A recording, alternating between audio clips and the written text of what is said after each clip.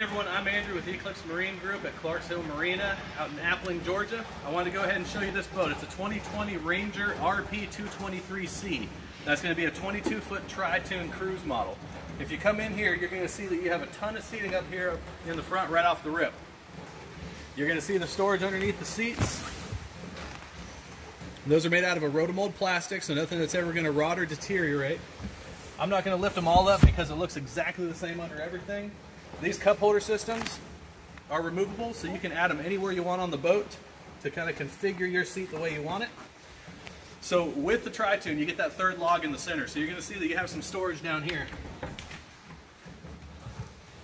And if you can get a close-up of that, you've got about six to eight feet worth of storage space inside this third log.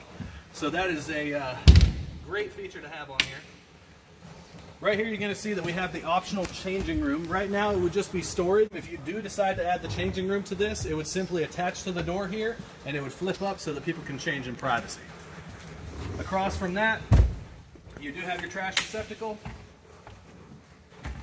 And then we'll move up here to the helm. So your captain's chair, it will pivot back and forth. It'll also move forward and back so you can get that optimal riding position.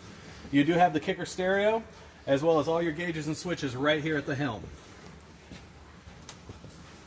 So this table is removable. You can also rotate it around if you need to. But you'll notice that you also have all the storage back here, just like you do up front.